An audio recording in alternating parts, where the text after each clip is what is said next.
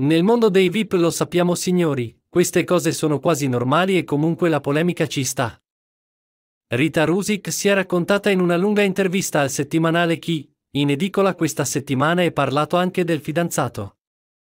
La produttrice cinematografica nonché volto della TV e soprattutto dei reality show a 64 anni anche se non si direbbe.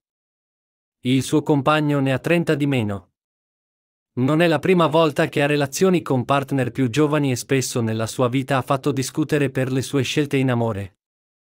Questo pagare sulla mia pelle certe scelte, ebbene, penso che nel profondo abbia suscitato una certa ammirazione, o quantomeno un po' di invidia, ha detto nel nuovo numero del magazine Key una relazione così non è semplice, intendo asimmetrica. Sono stata da entrambe le parti, quando mi sono sposata con Vittorio, e Cecchi Gori, avevo 20 anni e lui 38.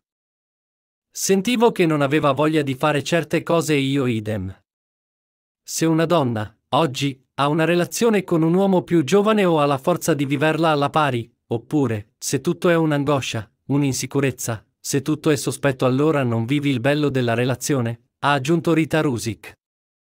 La bellezza, l'aspetto fisico per lei contano perché se sei bella, e lo sai, ti senti più forte. Però a 20 anni è facile.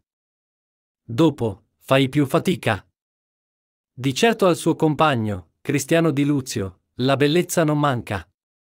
A 33 anni, è nato nel 1990 ad Anzio, in provincia di Roma, e ha iniziato a muovere i primi passi nel mondo del lavoro come modello.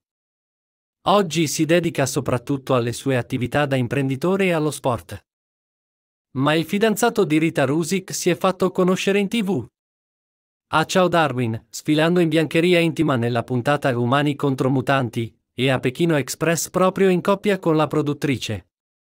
Con lui l'amore va bene, perché siamo sempre lì sul bordo, sul ciglio, stiamo bene insieme perché stiamo bene anche da soli.